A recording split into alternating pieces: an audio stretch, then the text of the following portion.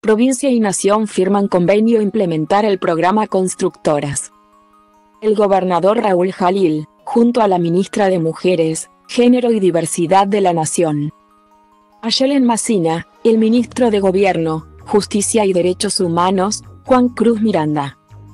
Y la secretaria provincial de Mujeres, Género y Diversidad, Ivana Ibáñez lanzaron el programa Constructoras que tiene como finalidad la programación, el desarrollo de actividades de cooperación académica, científica, tecnológica y de asistencia técnica con la finalidad de concretar la implementación de los ciclos de formación curricular de trayectos formativos para mujeres y personas LGB Nación brindará el apoyo necesario para fortalecer la implementación del programa apuntando a la autogestión económica y el desarrollo integral de los beneficios.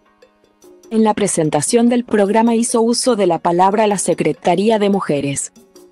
Género y Diversidad Provincial, Ivana Ibáñez, quien explicó que el programa Constructoras se gestó en un Consejo Federal que se encuentra nucleado por todas las concejalas ministras y secretarias del país que actualmente lo preside la ministra de Mujeres, Género y Diversidad de Nación.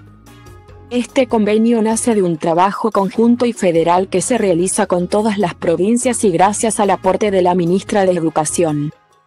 Andrea Centurión, quien impartirá los capacitadores para dictar las capacitaciones en construcción para mujeres y diversidades, expresó la funcionaria. A su turno, la ministra nacional de Mujeres, Género y Diversidad, Ayelen Massina. Destacó que las provincias comparten sus políticas públicas y trabajan para la integración y junto a Ivana pensamos en este programa Constructoras. En Catamarca se nota el trabajo en conjunto y que hoy firmando con el gobierno nacional es una forma de ver la construcción de un verdadero federalismo.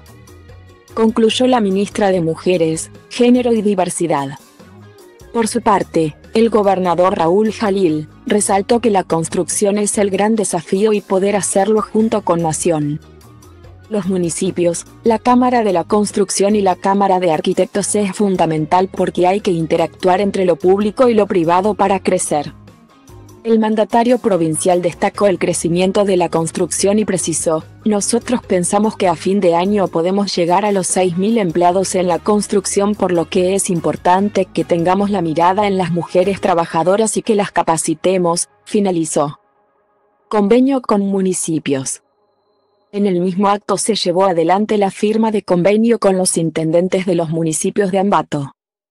La Puerta, Londres Paclín y los Varela por el programa Acompañar, que tiene como principal fin el promover la autonomía de mujeres y LGB grande T y Q más que se encuentra en riesgo acreditado por situación de violencia por motivos de género.